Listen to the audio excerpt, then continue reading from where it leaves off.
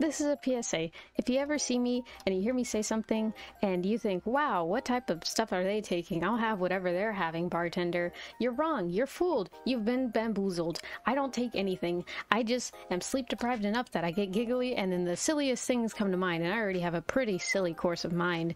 And so to have sleep deprivation play into the mix just makes a goofy little time. So I just want to let everybody know because sometimes I, you know, so, some of the stuff I say warrants the reactions of, are you high? And while I respect that, you know, th- thanks for asking, but no, I'm not. It is. It just makes me feel bad because it's like, what? I'm not.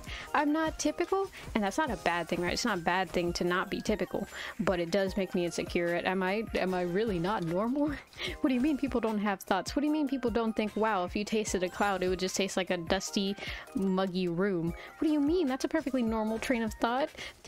Clouds are just dust and water vapor. It's a perfectly normal train of thought. But no, are, are you are you okay? Are you feeling all right? I, I mean, now that you mention it, I didn't get enough sleep last night, but I thought that was a pretty normal thought to have.